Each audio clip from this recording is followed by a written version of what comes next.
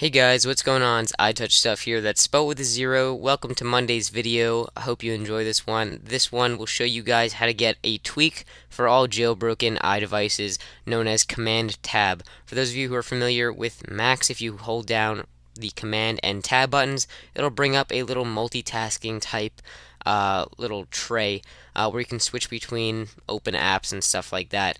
Now, the Cydia or the iPhone variant is pretty different, and I'll show you how. Um, first, you need to get it. You need to have ModMyi, which is a default repo. Um, you need to search for Command Tab, um, and I believe if you install this and you don't have Activator already installed, it should queue up and install Activator as well. If not, you need to go ahead search for Activator, spelled the way it sounds, um, and install that because this does not have a default settings page. Uh, so once it's installed, you restarted the Springboard, you have Activator, head on over to Settings, then go to Activator, which is somewhere down below on the screen if you scroll down, and you have a bunch of different settings that you, of course, can set.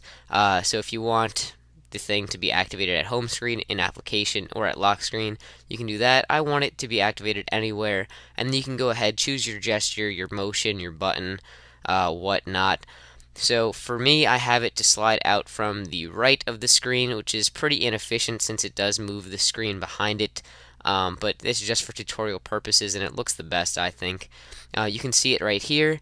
Now, the one downfall to this is it's not made for multitasking whatsoever. If you want a multitasking drawer, Apple gives that to you standard down here by double tapping the home button.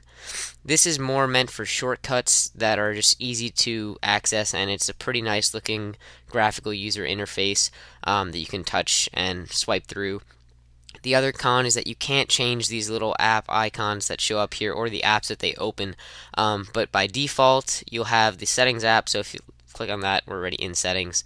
Uh, you also have the music app. It'll open up music.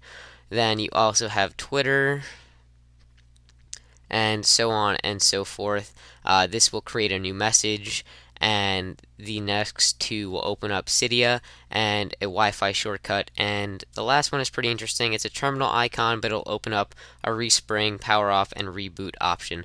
Now I don't know if you do have terminal that it will open up terminal because I don't have terminal installed um, but you guys can go ahead test it out for yourselves. You can see it's popping up because I don't have the best way to activate it. Um, but again, it's really just meant for shortcuts, and they're predefined by the developer, which is pretty disappointing. Um, but hopefully, CoffeeJay, which is the name of the developer, will implement an update where you get to choose what apps go in this little tray area, which would be pretty nice, and I think it'd make it a lot more useful. So, guys, been iT0uchStuff here. That's spelled with a zero. Hope you enjoyed the video, and uh, as always, be sure to rate, comment, subscribe, uh, and check out my channel for more videos like this. Take care.